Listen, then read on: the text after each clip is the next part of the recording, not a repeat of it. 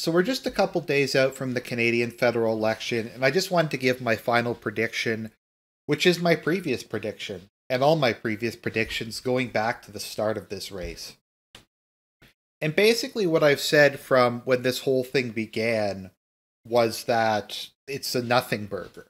I mean, this is Canada, so it's not a nothing burger, it's a nothing poutine. You just got the fries, but there's no cheese curds and there's no gravy on it. So it's a nothing poutine. It's a massive waste of everyone's time and money. Nothing's going to change. The simple fact is, unless Quebec does another big swing, it's going to be very difficult for any party to get a majority. Uh, because two elections back, they voted the NDP. And then this election, they voted, or I guess maybe it's, yeah, it's two elections prior to this one, they voted NDP. And then last election, they switched back to the BQ and it looks like they're going to vote for the BQ again.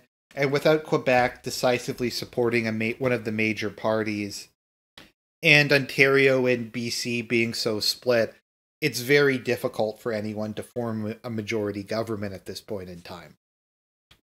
There's also the claim that the People's Party of Canada is acting as a spoiler for the Conservative Party. I'd have to press X to doubt on that. I don't know what percentage of them are people who didn't vote previously. Because that's something you always have to keep in mind when you look at these.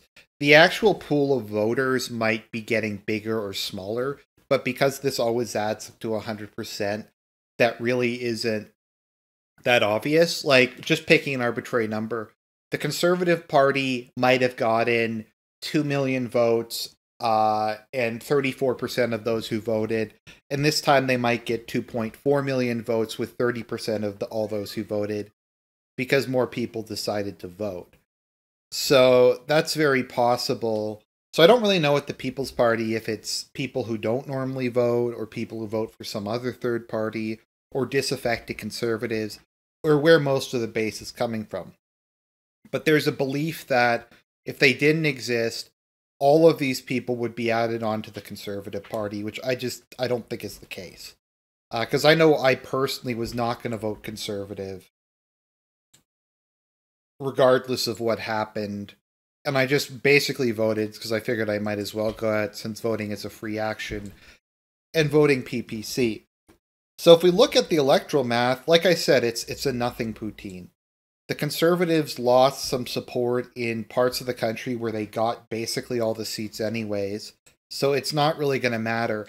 As i've said like let's look here um they've gone from 69% support in alberta to 54% in alberta and 55% in the prairies to 42% in the prairies which will be a net total of two seat change oh boy, that's that's really going to be decisive.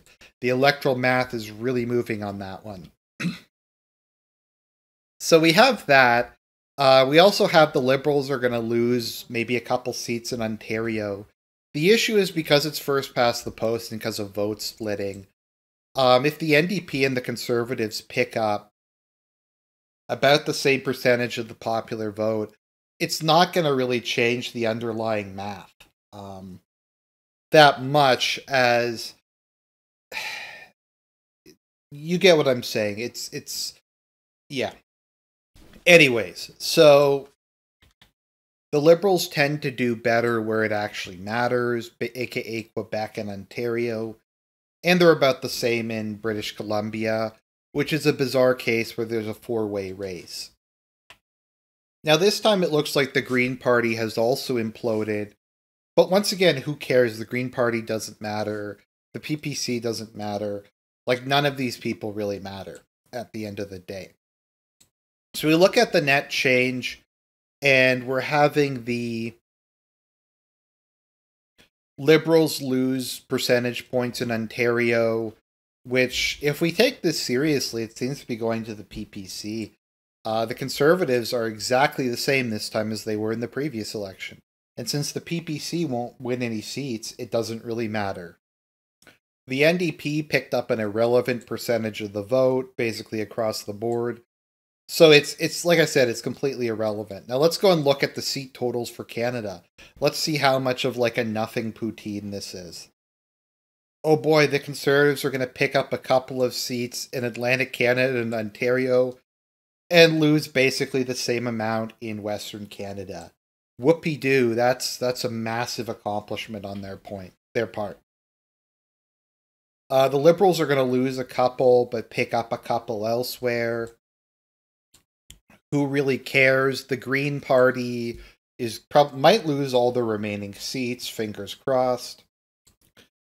And that's it. It's going to go from Liberals holding 157 seats and having a minority government to holding 144 seats and having a minority government. The NDP might pick up a couple, though I'm going to press a massive X to doubt on that one. BQ will remain exactly the same. It's just a nothing Poutine election. Like I said, it's a waste of everybody's time. The question is will Trudeau step down? Probably not. We'll probably have to deal with this again in another two years, and we'll have another nothing Poutine election where absolutely nothing interesting will happen. And we'll just have another series of like I gotta say though, this is like the biggest freak show I think among the leadership I've ever seen.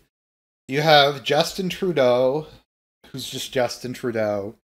You have uh, Mr. Bland, aka Erin O'Toole, who's trying to out left wing Justin Trudeau.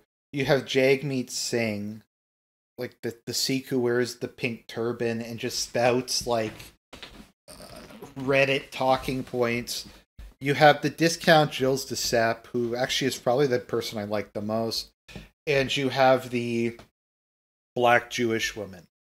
So that is the collection that we have. That is the rogues gallery um, of this election, and it's just I haven't really been covering it that much. We're gonna have an election night special because those are always fun, but to quote the AVGN, what a shitload of fuck.